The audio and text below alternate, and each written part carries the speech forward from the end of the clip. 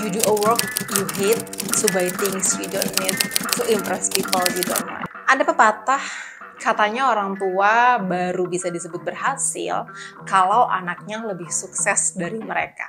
Jadi, definisi orang tua sukses adalah ketika anak mereka bisa lebih besar rumahnya, lebih mewah mobilnya, dan lebih tinggi gelarnya daripada orang tuanya.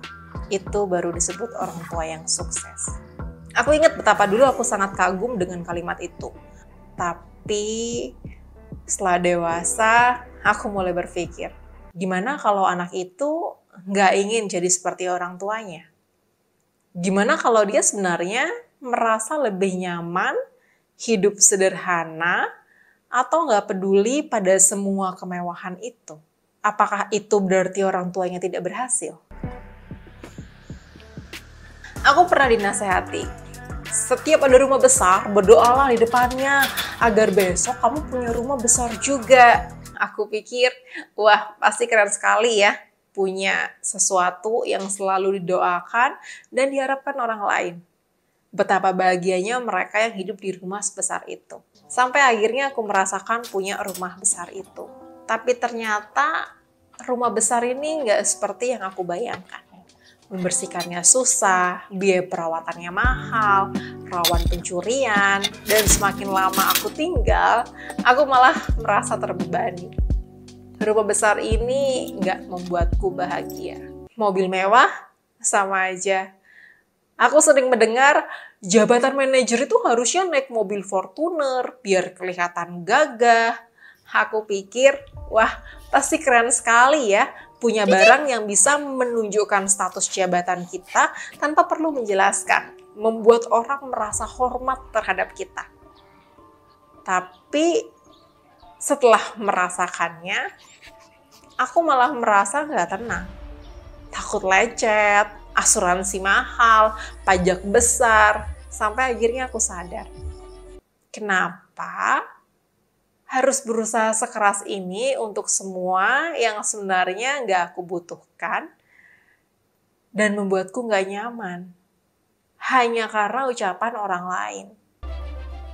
Ya. Sama halnya dengan profesiku. Jujur, aku nggak pernah punya mimpi jadi dokter. Aku nggak suka menghafal dan biologi adalah satu-satunya pelajaran yang aku benci. Aku lebih suka desain, komunikasi, storytelling.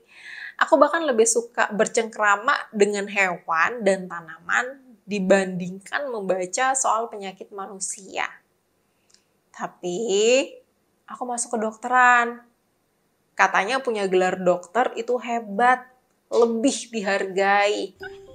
Aku pastikan ilmu kedokteran itu punya sisi terang. Aku sangat suka menjadi sisi terangnya tapi setelah aku masuk, juga ada banyak sekali sisi gelapnya. Dan sisi gelap itu yang nggak bisa aku hadapi. Akhirnya enam tahun ku lewati tanpa cinta, tanpa gairah, yang penting lulus, yang penting selesai. Lalu setelah lulus, banyak yang berkata, sayang kalau ilmunya nggak dipakai. Aku ikuti nasihat mereka. Aku bekerja demi sebuah gelar, demi sebuah kehormatan yang katanya harus dipertahankan. Aku pernah kerja di klinik kecantikan, aku pernah kerja di klinik swasta, aku pernah kerja di rumah sakit, aku pernah kerja di IGD.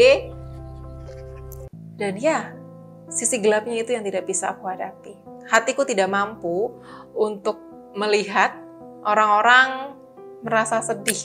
Itu aku belum bisa menghilangkannya. Apalagi ketika harus mengatakan breaking bad news atau mengatakan hal-hal buruk pada pasien, itu menguras energiku.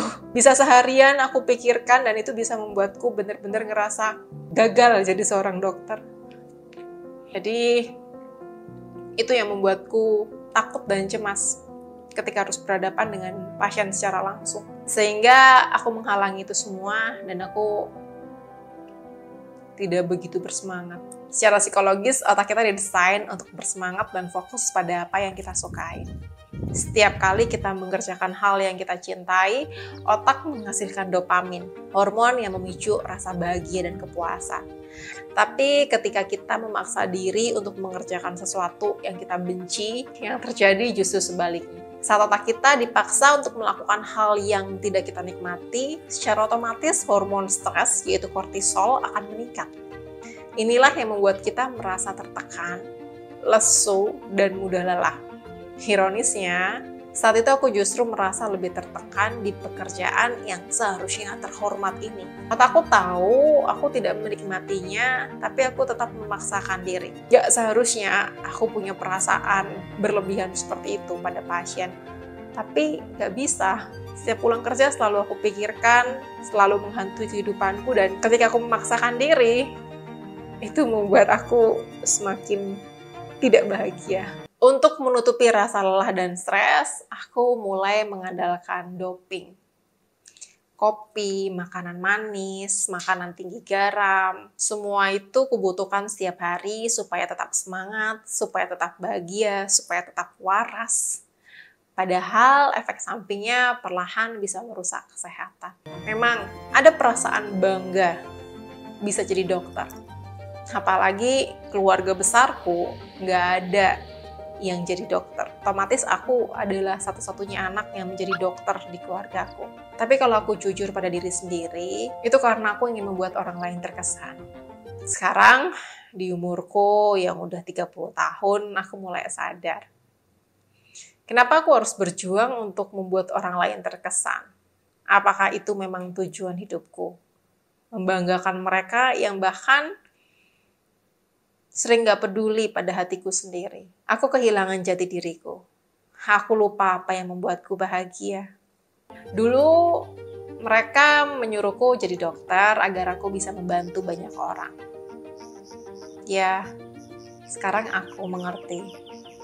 Aku senang sekali aku bisa membantu banyak orang.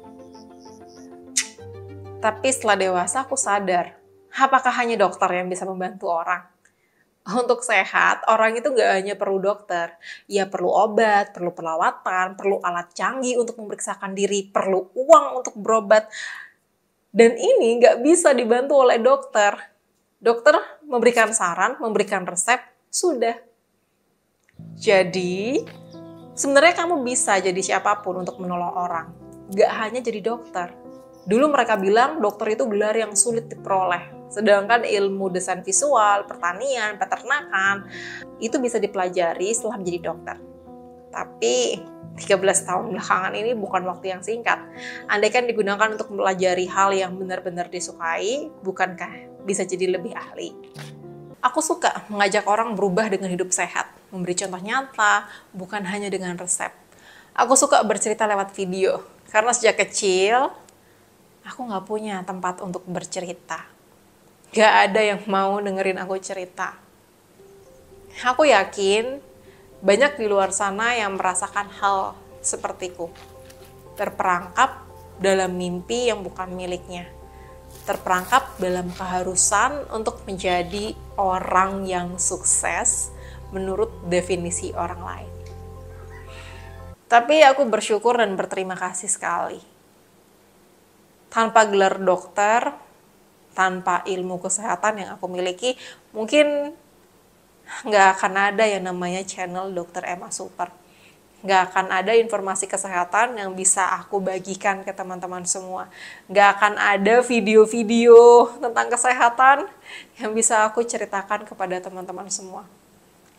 Sehingga sekalipun dokter ini bukanlah mimpiku tapi aku merasa Tuhan memberikan takdir ini pada aku agar aku bisa membuat video yang bisa kalian akses dengan gratis untuk membantu orang-orang mendapatkan informasi kesehatan.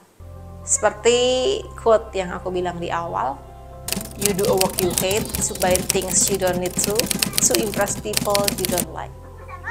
Kalimat ini mungkin benar, tapi sampai kapan kita akan hidup seperti ini? Hidup ini singkat, sangat singkat. Dan di akhir hidup kita nanti, semua yang kita lakukan bukan untuk mereka, tapi untuk diri kita sendiri. Yang bisa menyelamatkan kita hanyalah amal perbuatan kita. Jadi, aku lelah hidup untuk mimpi orang lain. Mulai sekarang, aku mau hidup untuk mimpiku sendiri. Aku mau hidup ini untuk diriku. Dan aku mau hidupku ini untuk membahagiakan semua orang yang ada di sekitarku.